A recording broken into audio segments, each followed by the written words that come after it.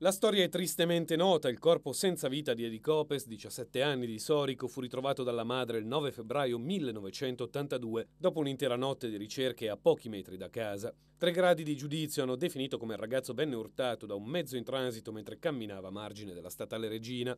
Una tragedia, insomma, la famiglia però negli ultimi 31 anni non ha mai smesso di cercare un'altra verità. Solo la sera prima di morire Eddie rivelò alla madre di avere paura, aveva ricevuto dei maltrattamenti, Aveva fatto il nome di chi gli aveva dato un contachilometri da montare sul suo motorino, contachilometri però proveniente da una Vespa rubata. E questa è la versione per cui la madre si è sempre battuta. Il ragazzo sarebbe stato malmenato a morte, non travolto, urtato.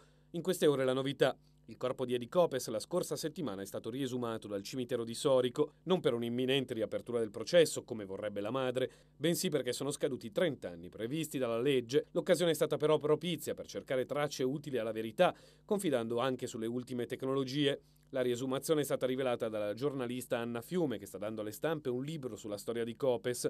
Già nel titolo si offre una posizione chiara sulla vicenda. Mi hanno ucciso 30 anni fa, sottotitolo è di Copes, delitto o incidente. Dai dati a disposizione, dice la giornalista, l'incidente da escludere in modo netto. Qualcuno volle dare a Edi una lezione, ma fu calcata un po' troppo la mano.